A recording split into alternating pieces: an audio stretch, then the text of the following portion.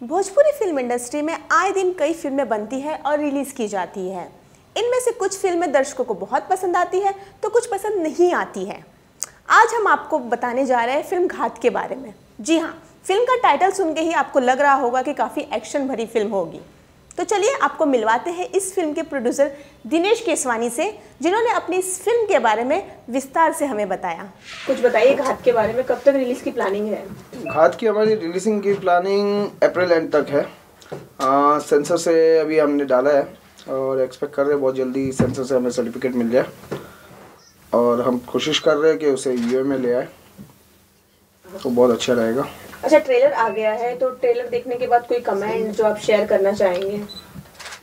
जैसे मैं स्टार्टिंग से ही कहते आया हूँ कि घात में मैंने पूरा अपना एक्सपीरियंस यूज़ कर दिया है। और उसी तरह से जैसे मेरे दर्शकों को ट्रेलर बहुत पसंद आया है। म्यूज़िक कब तक लॉन्च किए जाएँगे? म्यूज़िक हम एक्सपेक्ट कर रहे हैं विद इन अ वीक उसे लॉन्च करने का। और मेरे दर्शकों को वो बहुत पसंद आएगा।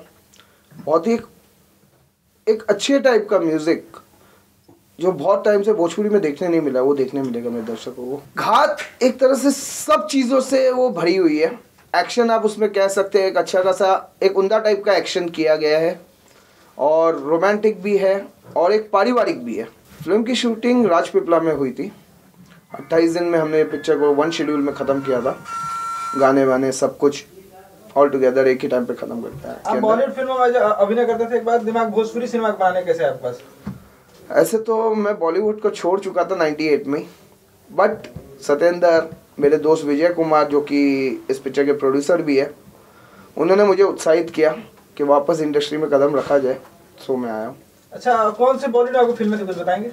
बॉलीवुड में मैंने पापा कहते हैं कि है और काफ़ी एड शोज़ किए और काफ़ी रैम शोज़ भी करता था मैं तभी। I used to call as a model over that अच्छा अभी आपने जो एज ए हीरो कुछ प्रहार का मुहूर्त किया था कब तक वो शूट कर रहे हैं? प्रहार हम मई में जा रहे हैं शूट करने के लिए। और उसे एक्सपेक्ट कर रहे हैं कि अगस्त तक वो भी हमारे दर्शकों के बीच में आ जाए। असल प्रहार की बात की जाए तो प्रहार में कौन कौन से स्टार कास्ट कुछ फाइनल हुए? प्रहार में जैसे कि मैं खुद आ रहा हूँ एज अ लीड रोल में रवि किशन जी है गौरव झा है सत्येंद्र सिंह है और अक्षय केसवानी है और एज अ हीरोइन में रजनी मेहता है ग्लोरी मोन्टा है तुषा खान है, अंजना है। तो देखा आपने एक्टर और प्रोड्यूसर दिनेश केसवानी को कितनी उम्मीद है अपनी इस फ़िल्म से? आपको ये वीडियो और ये इंटरव्यू कैसा लगा, हमें कमेंट कर ज़रूर बताइए।